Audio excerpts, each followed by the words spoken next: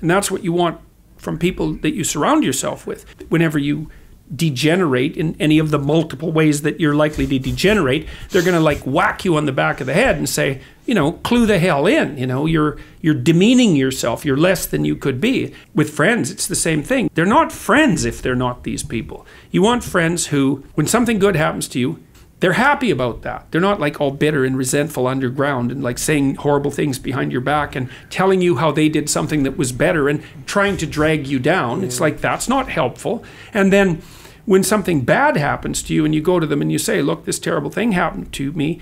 First of all, they don't try to top it with some like horrible thing that happened to them because they don't have the patience to listen and take a look at the people that are around you.